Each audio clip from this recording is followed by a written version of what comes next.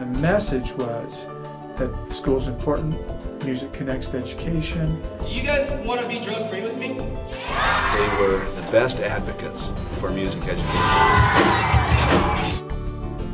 It's because music is such a huge part of our lives, and we know it's a huge part of your lives. It's been a pleasure to uh, work with them and to support this program. That was the important thing is that the kids were educated today.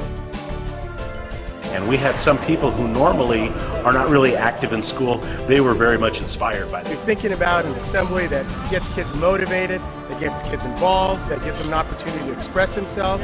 This is the assembly for you. I highly endorse uh, the program and, and I'll continue to support and work with the organization to make it a success.